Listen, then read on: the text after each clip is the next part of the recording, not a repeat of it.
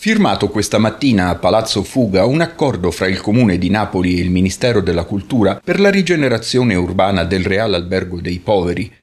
Il progetto prevede di trasformare l'enorme edificio settecentesco voluto da Carlo III di Borbone in un centro culturale polifunzionale. Sin da bambino, oppure quando ero studente universitario mi capitava di passare qui davanti, ho sempre fantasticato sulle potenzialità di questo luogo e di questo edificio. Cominciamo a lavorare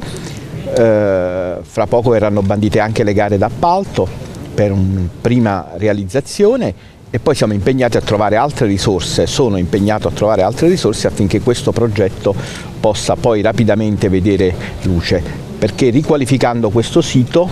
noi ridiamo impulso a tutta la zona e ringrazio anche l'università, la Federico II, che poi è la mia università di origine,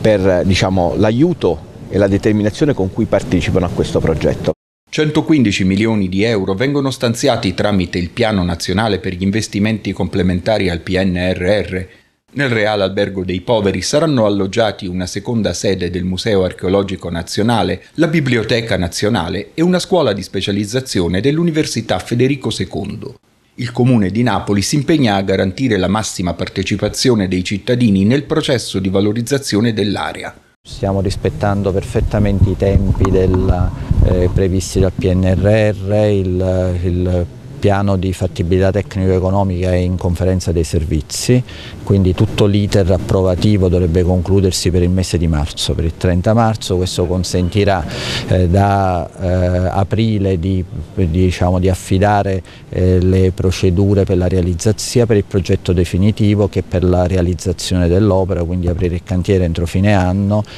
però noi abbiamo previsto di, come stiamo facendo in tutti i siti su cui stiamo lavorando, di garantire anche degli usi temporanei, cioè fare in modo che durante il periodo di realizzazione delle opere alcune parti dell'edificio, tra cui quelle queste che noi stiamo vivendo adesso, restino aperte e vengano utilizzate sia per delle attività espositive, delle attività associative, anche delle attività innovative che poi vedrete, quindi sarà, cioè, l'albergo dei poveri rinascerà subito.